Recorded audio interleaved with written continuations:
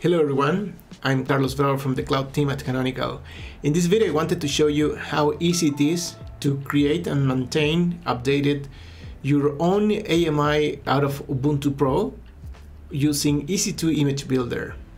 And for making it more interesting, I'm gonna create a CIS hardened Ubuntu Pro image. Okay, so let's get started. I'm gonna click here on create image pipeline. This pipeline is gonna be called uh, my Ubuntu CIS hardened image.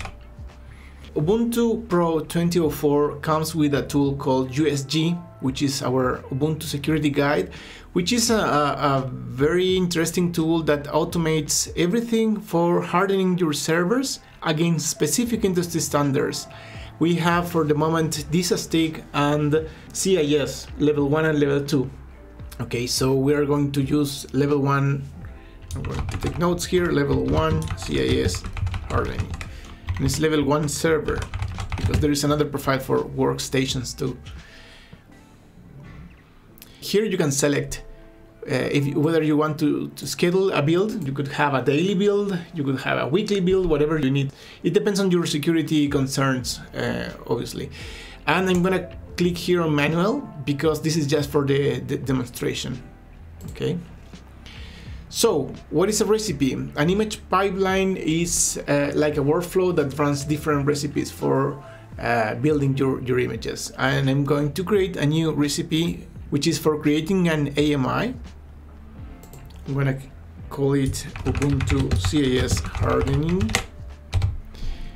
version 1.0. If you see here, the, the standard images for Ubuntu are the free versions and we are going to use a custom ID okay? The way to get your AMI ID uh, is um, through the EC2 console or calling it directly using AWS CLI which is my preferred choice because I, it's just a copy paste of one command. And every AMI ID is different for each region right? So just don't forget that. Alright so I'm switching to my terminal window here I'm pasting in a command that I have for calling uh, AWS CLI, EC2 service, describe images. I'm just telling telling it um, which format, which region, US East 1, the same as North Virginia. And then as values, I'm putting Ubuntu Pro Server. This is the naming convention that we have at Canonical.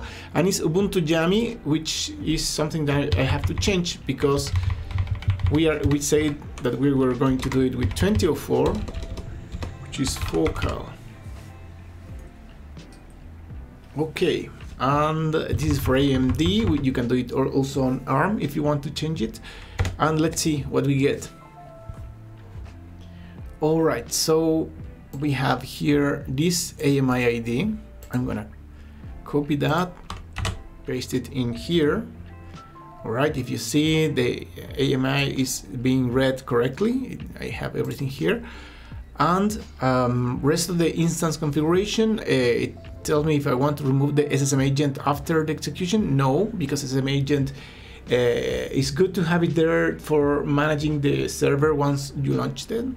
And as user data I'm going to paste an elegant way to pull an update and an upgrade. I'm using cloud init here um, so I'm just updating the repositories and upgrading everything that is needed because it's always a good practice to start fresh with a, a server with everything up to date.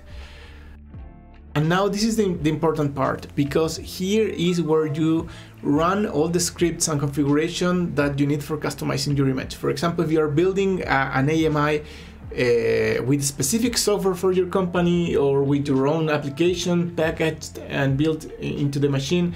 So this is where you do it. This this works like like entering commands in, into the console, with, but in a specific format, either YAML or, or JSON. Okay, so every component is is an action that you will run on your your machine. So I'm building here for Linux. I don't need to change anything here. Which version is Ubuntu 2004? Name of the component, I'm going to write um, USG install 1.0. Description, I don't want to put anything here. I'm going to use an example, right? Because the example will make it easier for me. And this is just for the building part. So I'm going to remove the rest. I'm going to put a name here. USG and install USG, nothing more. This will install USG on Ubuntu 2004. Um, install and instead of giving an echo here well I'm gonna remove everything here and I'm going to paste these commands all right so let me tell it. Okay so what I'm doing here is first tell the the execution script to wait until everything of the initialization process of the instance is finished. Why? Because when you are booting up an Ubuntu Pro server uh, during boot um, there is a tool that runs internally that enables all your entitlements, which are premium repositories on, on, the system. So you would like to wait for everything to finish and then run the enablement of USG, right? Uh, USG is one of the pro features that comes on Ubuntu 2004 right? And these features are managed by UA or, or a new version of it that is called Pro. So you could also call it like Pro Enabled USG. It will depend on the version that this tool that you're running. And then here, we're gonna call the actual installation of this because this command here will enable the repositories containing USG tool and other things, and this will actually install it, okay? And that's it with this component. Then the second component that I'm gonna I'm going to create this takes a while to update okay this is there and the second component is also for building um, for Ubuntu 20 2004 if we want to be specific um, these ones um, this one run the USG fix okay you will see in the next example so I'm taking again the same example and this is runs USG USG fix. Okay. This runs USG fix against CIS level 1 server. Okay. USG fix again. USG. Okay, whatever, right? I mean, okay and this is quite simple this is one com single command that is enough right so you you're calling usg you are telling it to fix whatever is non non-compliant against what profile this one okay you can also run usg audit on the machine and it will generate a very interesting and interactive html file that you can see for each of the rules and, and see what, what is compliant and what is not.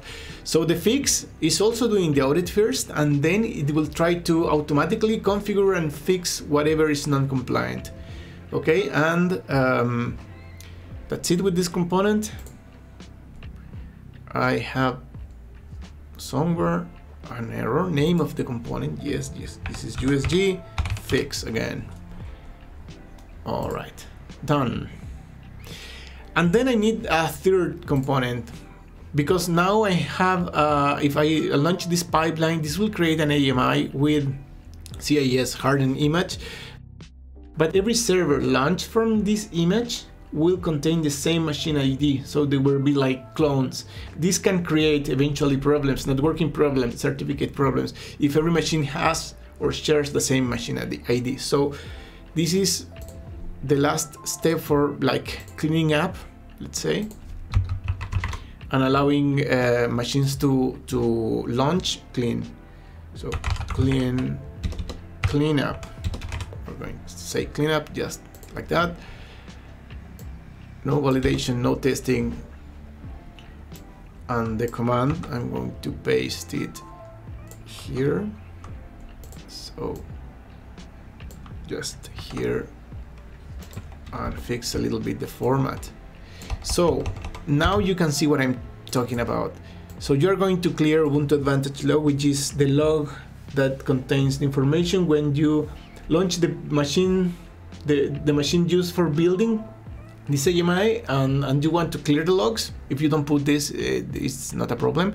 But these one are, are, are important, machine ID. And here, uh, clean up moves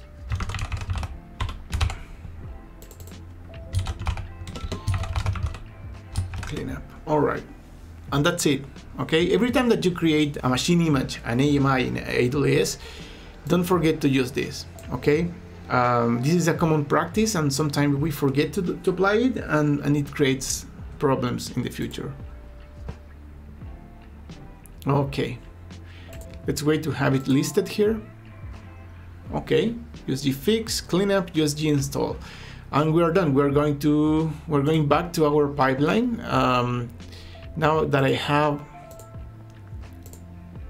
the components owned by me I will add them all. And the so we know that first we install then we fix then we clean up and that's it.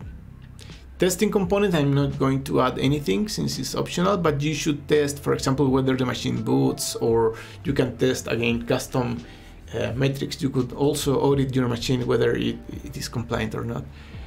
Um, and that's it. Next. So we're leaving everything by default for, for building the image. And then I'm creating the pipeline. Okay, cool. Now that I have this pipeline, um, I can schedule it to work automatically or I will run it just now. Alright, and that's it. We will just wait. We can see the information here. We, we see that it's pending. It is gonna take like 20 minutes more or less. So I'm gonna pause the video for the sake of time and I will show to you then the results. Alright, so now you can see that uh, it finished, is it is available. If we can open it, you can see even that we have the AMI number, the ID, sorry. Um, and that's it. You can use this AMI ID for getting the latest uh, Ubuntu CIS hardening. You can schedule this uh, pipeline to run every every period that you like and get always the latest AMI with everything installed and hardened with uh, standard. Um, that's it. I hope you have enjoyed the video. Thanks for watching.